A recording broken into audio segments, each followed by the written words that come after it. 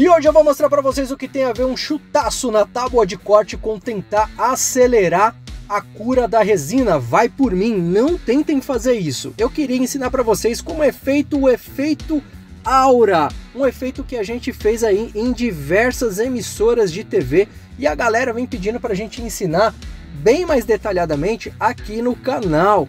E hoje eu vim trazer esse passo a passo para vocês, um passo a passo simples, mas olha só, não percam a cabeça e não chutem tábuas de corte.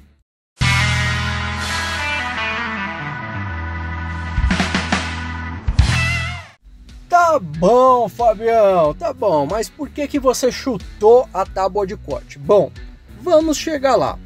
Eu quero mostrar para vocês como é feito o efeito aura. Eu quero fazer com a resina Simple Pox, essa daqui que eu estou colocando nos copinhos. Essa resina dispensa o uso de balança. Se você usar balança, vai dar errado. Realmente, essa resina foi desenvolvida para o iniciante. Calma, eu já estou há anos aí no mercado e posso te falar que não é só para iniciante não, porque eu estou utilizando demais. Além dela ter um acabamento muito mais sofisticado, ela ajuda a eliminar as bolhas de maneira muito mais fácil. A dispersão de bolhas nela é praticamente automático, mas claro, tem que ter a nossa supervisão em cima sempre para não ficar nenhuma bolinha para trás.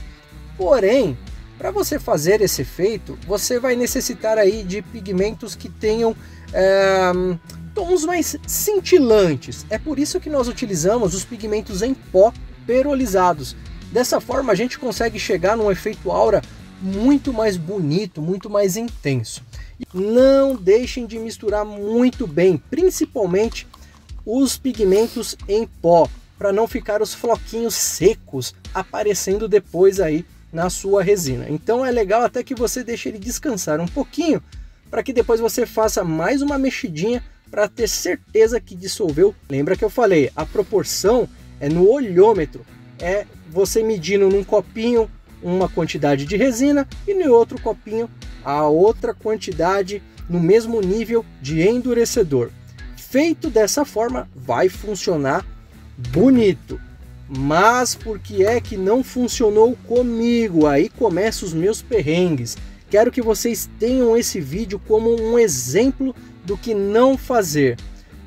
Peguei aqui a minha tábua de corte já com a canaleta feita e agora é simplesmente eu jogar a resina dentro da canaleta. Mas nesse dia estava um frio tremendo. Além de estar muito frio, a umidade do ar estava muito elevada. Como vocês podem ver aqui no termoigômetro, olha só. E isso me prejudicou demais. Porém, eu precisava entregar esse vídeo e eu tentei fazer o que? Forçar a resina a endurecer mais rápido. Olha eu colocando a mão para sentir a temperatura. O que, que eu estou fazendo aqui? Eu estou utilizando uma técnica que é deixar a resina com o endurecedor dentro do potinho. E se eu deixar ela parada, ela vai começar a iniciar ali uh, uma cura mais acelerada, porque ela está em quantidade dentro do copinho. E esse foi o meu erro, porque eu não fiquei Olha eu confessando aí, eu não fiquei monitorando. Eu saí para fazer outras coisas e quando eu voltei já era tarde demais. O que aconteceu? Eu tinha que ficar no local, sentindo a temperatura, ir esquentando, até entrar em estado de ponto de gel.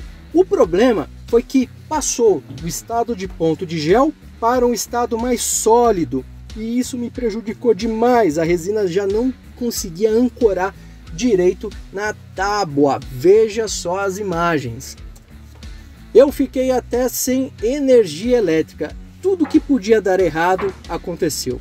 Eu estou levando então tudo agora para o lado externo para tentar pegar uma luz melhor do ambiente, porque estava uma escuridão total por conta do clima, porque estava um tempo muito fechado e a luz do sol não ia vir tão cedo. Veja que eu estou jogando a resina na canaleta e ela está muito grossa. Isso está dificultando demais o nivelamento dela e também a ancoragem na madeira. Infelizmente eu perdi esse trabalho e o meu desespero foi tão grande porque eu não iria ter vídeo para entregar pro canal da Redilize. Porém, eu utilizei do que aconteceu para ser uma fonte de informação para vocês do que não fazer. Isso serve até para mim mesmo. Mesmo com tanta experiência, tantos anos de experiência, não adianta. Temos que ficar supervisionando a resina. A resina em estado líquido é cheio de surpresas. É um trabalho artístico, gente. A gente precisa estar acompanhando cada passo do procedimento da resina. Veja que eu fiz todo o possível para fazer uma união entre as duas cores, para dar o efeito aura, mas tudo que eu consegui foi uma gororoba grossa e ainda faltando resina em algumas partes. Isso me deixou tão pé da vida que eu decidi então acabar com esse trabalho. Realmente foi o meu dia de fúria e eu utilizei, obviamente, para fazer uma graça ali, né? E gerar o conteúdo para vocês, para mostrar o que não fazer. Só que nessa brincadeira eu acabei me machucando ali no pé. É, nada muito grave, mas vou ficar alguns dias de molho. Então, assim, pessoal, a resina ela tem que trabalhar da sua forma natural. Deixa que ela trabalhe sozinha no endurecimento. E olha a besteira aí que eu fui fazer. Eu fui dar uma bicuda nela e olha a besteira que eu acabei fazendo. Olho no lance. Toma. Eu dei até uma mancadinha ali na hora. Eu achei que não ia ser nada, mas depois veio a surpresa, né? Mais tarde. Então, galera, é... sirva de alerta isso para vocês, tá? Não tentem é, forçar a resina a seguir comportamentos que não são naturais dela. Tá? Olha só, eu quebrei até o meu martelo.